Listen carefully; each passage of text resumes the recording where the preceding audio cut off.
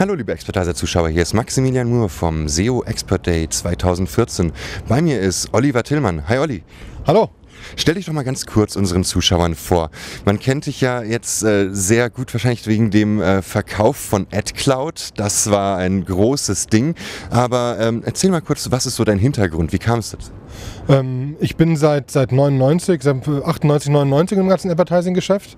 Ähm, damals auch viel SEO-Sachen gemacht, sehr früh mit AdWords angefangen, mit GoTo angefangen, bevor es Overtür hieß und so weiter. Ähm, mhm. Und äh, habe dann auch sehr schnell in den gesamten AdSense-Bereich reingeguckt und wir waren bei OnVista einer der ersten Partner, die AdSense überhaupt auf der Seite hatten in Deutschland, über Boda. Hatten dann auch sehr schnell Overtür und Miva auf der Seite und stellten fest, irgendwie Vielleicht können wir da auch so eine Textbox irgendwie hinpacken. Mhm. Und das hat sehr gut funktioniert. Daraus ist Ligatus entstanden. Ähm, das mittlerweile bei Gruner und Jahr ist. Ähm, und darauf habe ich im lokalen Bereich äh, eine Werbeplattform aufgezogen mit Omigo, die wir an Gelben Seitenverlag verkauft haben. Und dann AdCloud einfach, wo wir gesagt haben, es braucht mal eine Technikplattform, die andere nutzen können. Äh, und auch das hat sehr, sehr gut funktioniert und äh, haben wir, wie gesagt, dann äh, wurde von der Deutschen Post übernommen als Teil von deren Advertising-Strategie. Also du hast quasi den Werbemarkt in seiner Entwicklung ja sehr stark erlebt. Es hat sich wahrscheinlich Von auch in der Zeit viel verändert. Ja. Also ähm, ich komme ja aus der Medienbranche und da ist ja immer noch ähm, Tausender Kontaktpreis eins der beliebtesten Modelle. Wie siehst du die Zukunft von diesem Modell? Was sind so die Vorteile daran oder ähm, glaubst du, dass es vielleicht andere Sachen gibt?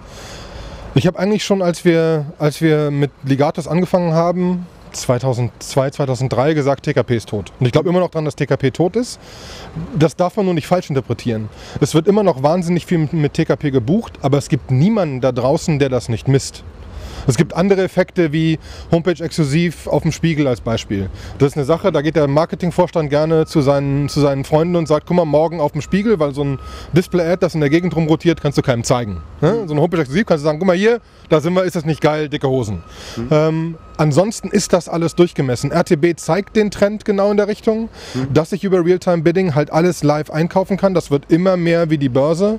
Das ist so ein bisschen der Weg, wie als ähm, Xetra an der Börse kam, hat auch keiner mehr auf dem Parkett rumgeschrien, sondern es ging alles automatisiert. Und das wird immer mehr in die Richtung gehen. Das heißt aber auch, dass immer mehr TKP gebucht werden wird auf den Publishern, weil die Leute sehr genau durchrechnen können, was sie denn zahlen können. Mhm. Das sind aber nicht die reinen Branding-TKPs. Da sind immer noch Leute wie Nugget, die auch zur Deutschen Post gehören, immer noch dran, zu versuchen, da noch Werte gegen zu messen. Google versucht genau das Gleiche, mhm. weil es einfach noch schwer zu messen ist. Du hast eben äh, Realtime-Bidding, du hast aber auch Google angesprochen. Dazu fällt mir natürlich immer ein Datenschutz. Darf man die Nutzer so genau durchmessen? Darf man irgendwie ihn überall mit kleinen äh, Pixeln verfolgen oder sonstigen Techniken? Techniken und äh, genau rausfinden, wo er sich gerade ausfällt, wer das ist, dann auch noch live darauf zu bieten, ihm die passende Anzeige anzuzeigen. Glaubst du, dass das vielleicht irgendwann in Europa ein Problem werden wird für den Werbemarkt der Datenschutz? Oder glaubst du eher, dass die Menschen sich daran gewöhnen und sich irgendwann nicht mehr darüber aufregen? Also ich glaube, ein großes Problem war, dass die Leute einfach über Retargeting zu viel wiedergefunden worden sind und es dann zu sehr aufgefallen ist. Ansonsten man muss ja einfach mal sagen, dass den, dass den Werbetreibenden eigentlich so blöd es ist, vollkommen wurscht ist, wer das ist. Da ist einfach ein Pixel, das eine gewisse Historie hat, das zu anderen Conversion-Raten führt. Und es macht finanziell unglaublich Sinn. Wenn ich mir überlege, eine durchschnittliche Klickrate ist 0,1%. Wenn ich tausendmal ein Produkt sehe, das ich mal kaufen wollte, werde ich mehr als einmal da draufklicken und dann ist es schon Mehrwert. Dementsprechend macht das einfach Sinn, diese Daten zu nutzen. Und die ganzen Advertiser werden sich wahnsinnig darum kümmern und die ganzen Plattformen, dass es nicht verboten wird. Ja? Mhm. Dementsprechend glaube ich schon, dass es immer mehr wird. Es wird nur auch immer intelligenter werden. Es gibt eine schöne Anekdote, ähm, auch dass das überall passiert. Äh, ne, ne, ein großer Supermarkt in Amerika hatte halt so Printmaterialien, die sie verschickt haben. Und äh, da ist ein Vater gekommen und hat gesagt, ey Leute, was seid ihr denn für bescheuerte Leute? Ihr habt, ihr habt meiner Tochter hier Schwanger, Schwangerschaftsklamotten angeboten. Drei, sechs Wochen später hat sie ihm gesagt, dass sie schwanger ist. Das mhm. wussten die vorher auf Basis der Daten. Mhm. Deswegen personalisieren die aber auch nur 10 bis 20 Prozent ihrer Magazine, weil es sonst zu krass wird. Mhm. Ja? Und genau dieses Vorsichtige muss ran. Die Leute dürfen sich nicht verfolgt fühlen, aber diese Daten werden ausgenutzt werden. Das ist gar keine Frage.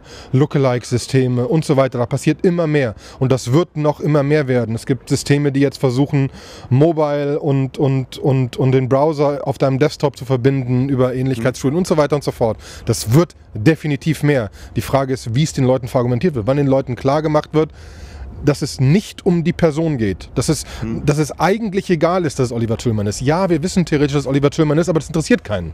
Wenn ich jetzt so, du hast Mobile angesprochen und die Zukunft, da gibt es ja auch das riesige Thema, dass man versucht, den Offline-Handel besser messbar zu machen, dass man schaut, wer betritt eigentlich einen Store wirklich mit seinem Smartphone, am besten noch ihn damit bezahlen lassen. Also diese ganze Verschmelzung zwischen Online-Marketing und dann aber offline noch einen Sale zu machen.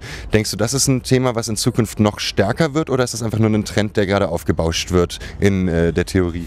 Ich glaube, das wird schon stärker werden, weil es einfach ein wahnsinniges Umsatzpotenzial gibt. Dann, aber dann kommen wir wirklich in Privacy-Richtung, wo es echt haarig wird. Weil es gibt die ersten Sachen, die sagen, okay, ich, ich, ich habe Kontrolle über die ganzen Billboards, die um meine Location drumherum stehen und kann den Leuten live Retargeting geben auf Basis dessen, wo sie im Laden standen. Mhm. Ja, es ist immer noch, die Person ist mir egal, aber das ist schon, das ist schon wirklich, dann wird es schon wirklich grenzwertig. Und wir müssen halt aufpassen, dass wir vielleicht nicht alles machen können, machen sollten, was wir machen können. Mit dem einen Unterschied, alles, was ich messen kann, wird gemacht werden, das ist keine Frage. Ähm, das wird alles immer mehr Technik, wo ich gleich noch drüber reden werde, dass wir einfach, es gibt diesen wunderbaren Spruch, Software will lead the world. Das wird einfach passieren, genau der Grund, weshalb wir jetzt nochmal in der nächsten Firma mehr, ins, mehr in den Hintergrund gehen und sagen, wir kümmern uns nochmal, dass man einfach Software hosten kann, weil es, weil es weil es immer mehr davon geben wird. Das ist nun mal Software. Nächste Firma ist ein total spannendes Stichwort. Erzähl doch noch mal kurz ein bisschen was über deine Zukunft, was du jetzt gerade, woran du arbeitest und was wird daraus werden wir kümmern uns gerade darum, dass Entwickler sich in Zukunft nicht mehr um Server kümmern müssen. Ähm, es ist zwar so, dass wir jetzt über Amazon, über APIs Server steuern können, und wir steuern immer noch Server. Und es gibt einen grundsätzlichen Trend, der sich Containerization nennt, wo Docker ein großes Thema ist, der es erlaubt, dass wir jetzt nicht mehr Server virtualisieren, sondern Services virtualisieren. Wirklich sagen, hier sind meine Services, die ich verteilen kann.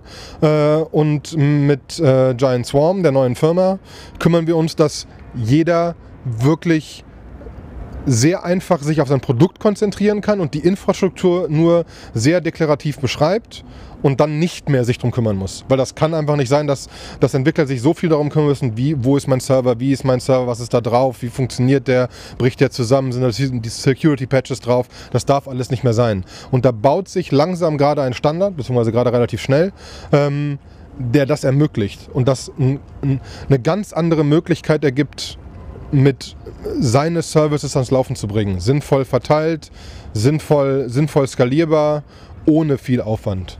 Und, und somit kann ich mich als Entwickler darauf konzentrieren, dass ich mein Produkt baue und nicht mein jetzt irgendwie, wie viel Server brauche ich, plötzlich brauche ich einen Server mehr, wo stelle ich den mhm. hin, dann brechen zwei zusammen und das machen wir mit Giant Swarm. Das hat auch äh, Sicherheitsaspekte, oder? Also wenn ich jetzt mir so überlege, äh, klar, alles ist irgendwie hackbar und die Welt wird immer unsicherer online und so. Und wenn es dann plötzlich einen kompetenten äh, Anbieter gibt, der sich um diese ganzen Probleme kümmert, ist es dann am Ende auch für die User ein Vorteil, dass sie sich mehr darauf verlassen können, wie Stabilität oder Sicherheit, auch vielleicht äh, ihre eigenen persönlichen Daten, die sie in irgendeinem Service angegeben haben? Ich glaube, das ist unter anderem ein Fall. Das ist ja ein ähnliches Thema bei SEO. Wir hatten das, wir hatten das eben mit den Branchenbüchern. Wenn sich jemand darum kümmert, dass er für 5000 Zahnärzte sinnvolle Landingpages bauen und die sinnvoll miteinander verlinkt, dann wird das wesentlich besser funktionieren, wesentlich mehr Kompetenzen, die er bündeln kann, weil das ist nun mal Software. Mhm. Und Software skaliert mit Größe. Dementsprechend können wir uns dann ganz anders um Sicherheit kümmern, ganz anders um Hardening von den Systemen kümmern, ähm, ganz anders die Sachen voneinander abschotten und sicherstellen, dass die Sachen richtig gebaut sind ähm, und da wesentlich mehr Dienstleistungen anbieten, die das ermöglichen. Das macht es einfach wesentlich spannender. Olli, ich wünsche dir viel Freude und Erfolg beim Skalieren. Vielen Dank für das Interview. Sehr gerne, Dankeschön.